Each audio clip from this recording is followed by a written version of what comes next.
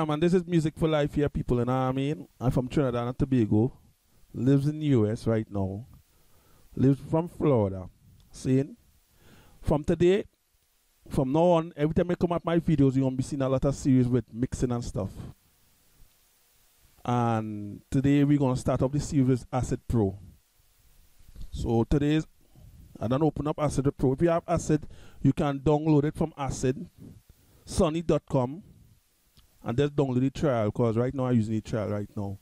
Just to you just to show you guys how to um, mix and you know how to do a mashup.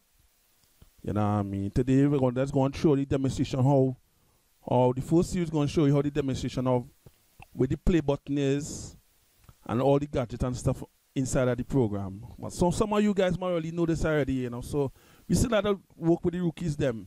Seeing? So Today, this is play. This is the play button right here. This is where you drag the files. You go to your C drive right here.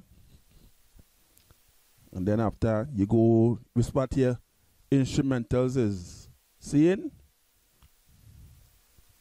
and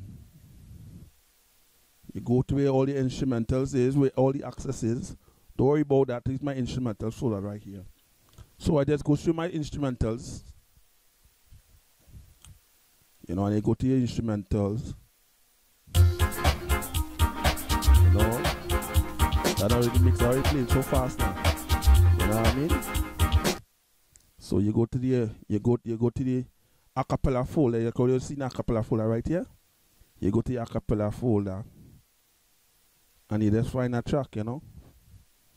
Yeah.